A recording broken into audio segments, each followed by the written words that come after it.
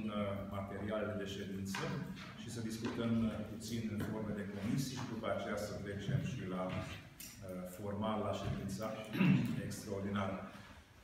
Urgența, urgența s-a invocat din două motive. Unul că avem o rectificare de buget foarte subțire, nu avem rectificare pentru protecția copiilor, dar avem alte sume care, oricât de mici sau mari ar fi sumele, trebuie să cuprindă.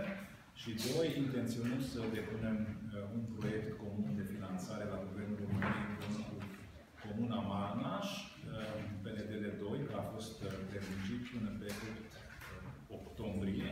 Și ca să pregătim documentația, trebuie să avem avizul Consiliilor Locale și Județene. Uh, deci, pentru asta am uh, cerut să ne întâlnim în ședință de uh, extra, extraordinară. Și desigur sunt încă două, uh, două, are două proiecte de hotărâri. Imediat vă expun, uh, o să spun și în limba maghiară.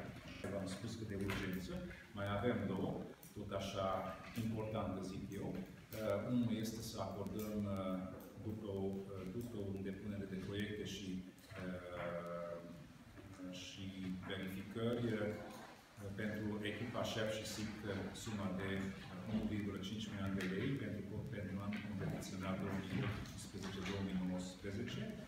iar celălalt, uh, al patrulea proiect de hotărâre este să preluăm, de fapt, porțiunea de drum în Comuna Gherința, care este în continuare a drumului județean, în, în, în lungime totală de 2,8 km și atunci dacă preluăm, așa cum am discutat că a mai fost uh, vorba în ședințe anterioare, atunci anul ăsta deja putem trece la județinere vară și cu, acest, cu aceste județineri putem, uh, putem